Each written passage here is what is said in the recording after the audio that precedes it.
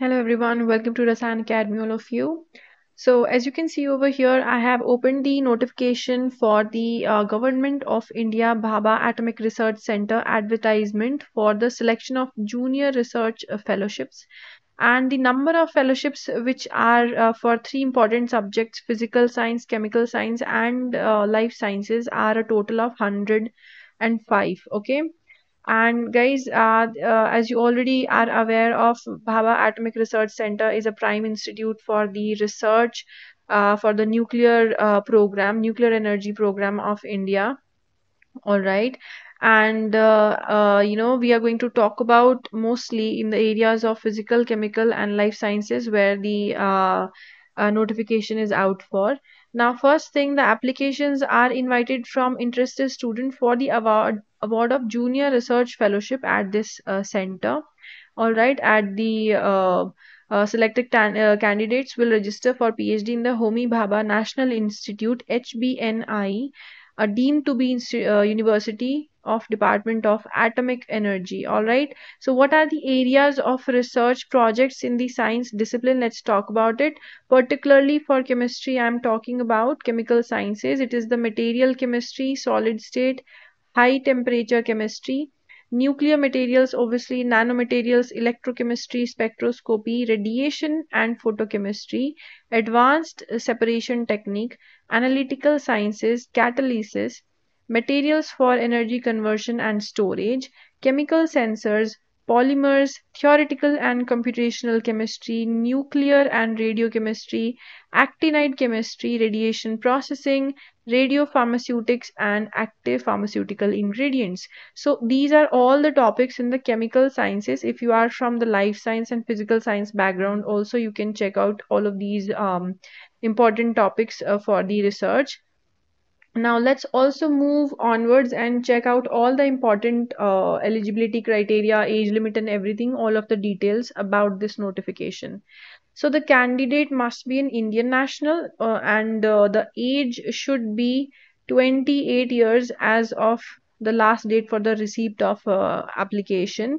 Age relaxation is applicable up to 3 years in the case of OBC NCL applicants and 5 years in the case of uh, SCST applicants and 10 years in the case of person with benchmark disability okay and only see it's it's very important that you have to um, uh, see that your matriculation certificate or birth certificate will be accepted as a proof of the date of birth only all right now let's move onwards to the eligibility criteria that uh, what is the important eligibility criteria and who can apply to this uh, JRF post. Now candidates should have consistently good at academic record and a minimum of 60% aggregate in the BSc and 55% aggregate in MSc from a recognized university. This is the minimum eligibility criteria. Okay. Second important thing is for candidates uh, who have uh, completed and are awaiting the final result of MSc degree. So, for example, who are there in the MSc final year and are awaiting your results, they can also apply. However, such candidates should necessarily upload the copies of the mark sheets of BSc degree and a copy of MSc first year mark sheet along with the application. So, th these are the documents that you have to uh, like submit online uh, along with the application. Such candidates should have scored marks above 60% aggregate until the previous semester or year and the minimum aggregate of 60% in the BSc level. Alright, so these are the uh, minimum requirements. Now, in case appearing candidates are selected for JRF, they should secure 55% in the aggregate in MSc examination. That is including the first year and second year. Okay and they should submit their MSc degree and mark sheet on the date of interview because uh, see it's mentioned if you are in the result awaited category by the interview if your result is out you must bring a copy of that in your interview failing which the candidature must must be uh, terminated. All right so you must take care of these little things. And for those candidates with 5 years of MSc integrated degree they should have secured a minimum of 55% aggregate in the MSc or BSMS dual degree. Right? So this, these are the minimum qualifications.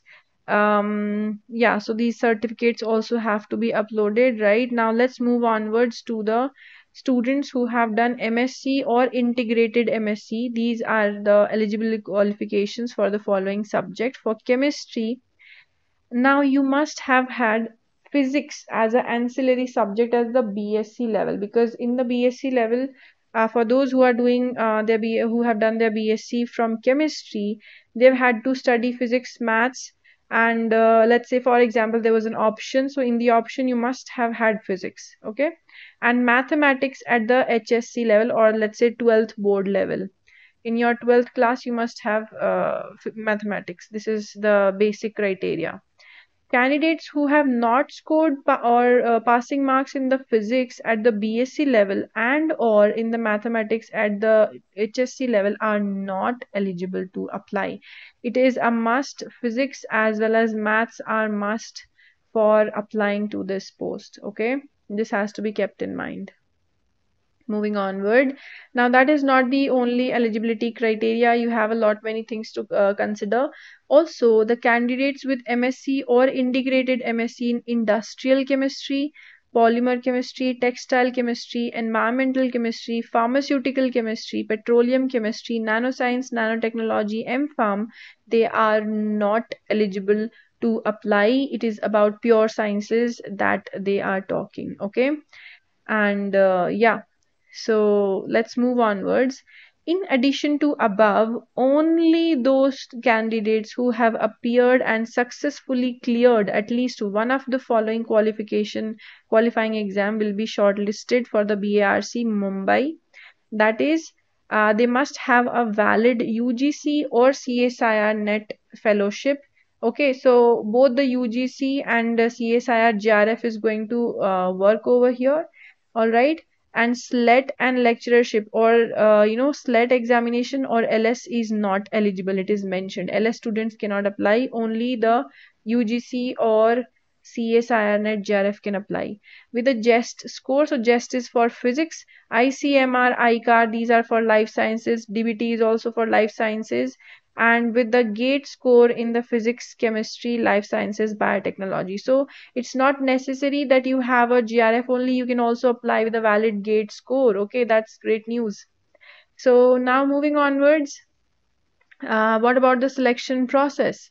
So applications will be scrutinized and candidates will be shortlisted for interview based on the academic uh, performance and score obtained in the national qualifying examinations okay?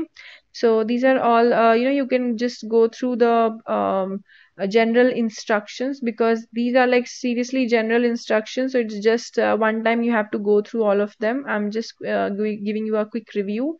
At the time of interview, the candidate will be required to bring the printouts of their online application, mark sheet, certificates, and the copy of the mark sheets and certificates whichever you have uploaded. Okay all of these things you have to uh, take.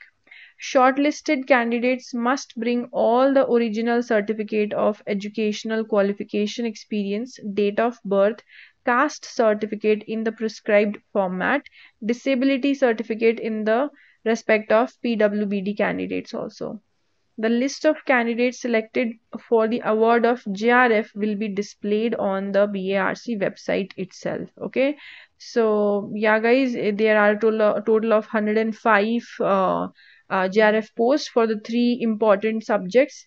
And that's why we are uh, like going through all these important things in very much detail. You can download the brochure on the main website of which the link i'm going to provide in the description of this video now let's move onwards to application fee. The application fee of 500 rupees is payable at the time of submission of online application and you have to completely uh, pay uh, the application fee online only through net banking, debit, credit or UPI. Application fee is exempted for women candidates and candidate belonging to the SCST and the person with benchmark disability. Alright, so keep that in mind. And yes, um, then moving onwards uh, there's also a detailed description of how you are going to uh, like fill out the application fee. Detailed guidelines for the payment of application fees available under the menu job application how to pay application fee. On the main website you can go through all of these things now, the application fee should be paid on or before the last date of receipt of online application. Candidates are advised to submit the online application much before the closing date and do not wait because there is going to be heavy traffic as always. Now, how to apply online? This is important, guys. Where are you going to apply? आपको यहाँ apply karna hai. https recruit.barc.gov.in. Uh, Here you are going to apply Facility for submission of online application will be available from a uh, from uh, 408 uh, 2023 to 31st. So 31st is our last date and we should keep that in mind. Okay. 31st August is the last date to apply. Now application will be accepted online only. Candidate should not submit multiple applications. Please keep this in mind. Only one application is going to be uh, submitted. Otherwise they will cancel both. Now, while filling the application online, it is mandatory for the candidate to indicate all their education and professional qualification under the column Educational and Professional Qualification, failing which their application will not be processed.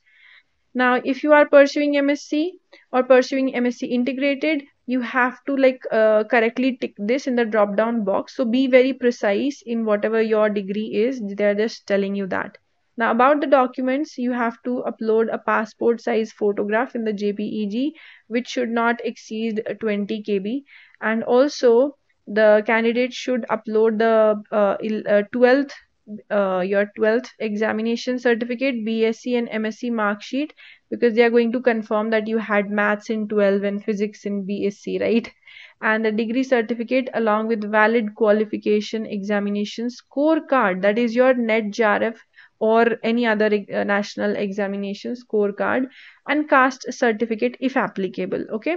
The online applications um, without the attachment of the document will be disqualified. So uh, please take care of this. You have to like submit all of these Right, individual semester wise mark sheet of BSc and MSc may be compressed separately into a single file and uploaded. They are telling you that if you are having individual semester wise marks of BSc and MSc, you can just compress them into one single file and upload it, which uh, must not exceed the uh, size which is mentioned on the website.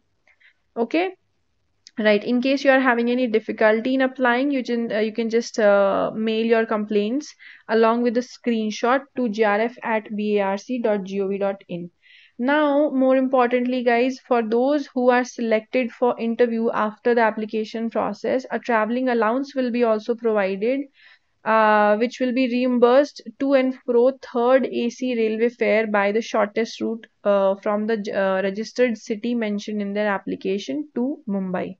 Okay, and just in case if you're traveling uh, by air, only the AC 3 tier normal fare or actual fare, which is less from the registered address, uh, will be reimbursed. All right, so yeah, you can go through that also. Also, let's talk about the fellowship and tenure. So candidates, the fellowship uh, amount is the same for JRF as decided by CSIR or UGC. It's 31,000 per month. And uh, this is going to be initially for two years. And once uh, the work is satisfactory, it is going to be um, extended and upgraded to SRF, which is 35,000 per month. All right. Also, the total period of fellowship shall uh, in no case exceed five years. They are entitled for contingency grant, including book allowance for 40,000 per year. Alright, so this is the contingency grant which you're also going to get along with your JRF. Okay. Now, um, yeah, you can also go through all of these things. These are important things. Now, let's talk about the important uh, dates once again. You have to keep this in mind um yeah and also this thing candidates will also not be allowed to appear for the interview if you if they fail to bring the printout of the application.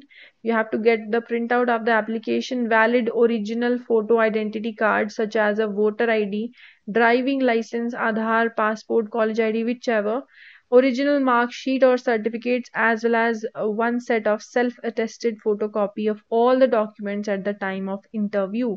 So this is important for those students who are selected for the interview. So receipt of uh, applications is going to be 4th of august. Last date for the receipt of application is 31st August and interview tentative date is around And September. Also informing all of you guys very very importantly that there is a uh, 20% off going on on all the CSIR UGC net subscriptions for the Unacademy. And this is valid till 12th of August.